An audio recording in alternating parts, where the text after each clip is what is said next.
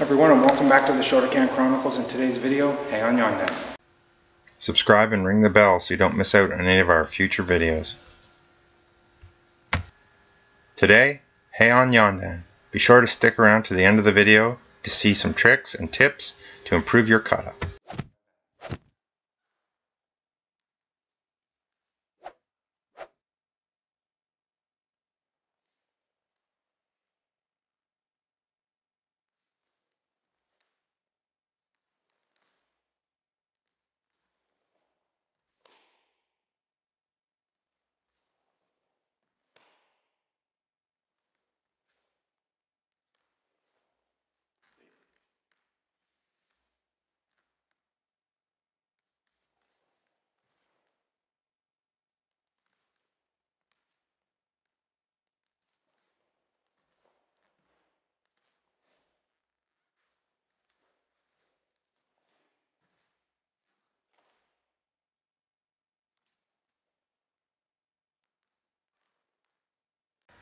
One of the common mistakes at the beginning is to step out instead of dropping your hips down into the back stance.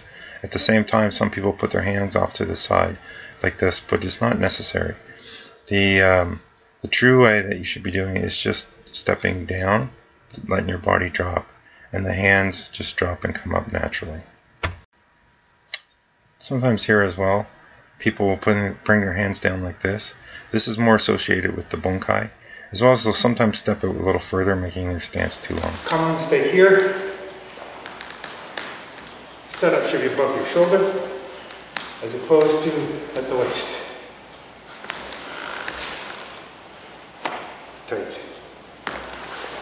Kick.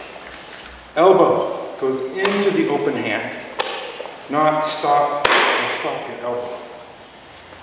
Here, only half step not stepping all the way up or standing. Half step. This is front stance on the same line. Palm is facing you in line with your leg. Before we were just rotating our hip like this. Okay to step forward. Just bringing the back foot in and forward. And kick, this is coming. Here when you turn, you do not want to face a 45 degree angle or come directly around to this side. You want to face a little bit more on a 30 degree angle here. As you notice my front foot is pretty much on the same line is my back foot just facing off to the corner for the punches. The same on this side. For these two-handed blocking techniques, you don't want to be jerky. You don't want to snap the technique back with your elbows. Also, don't go past the outside edges of your body. Another very important point is not to turn your, your fists over so the palms are facing down. For returning, these I've been shown many different ways. Just keep it simple set up like you would in any other couple. On the last one, you're just driving forward, driving forward.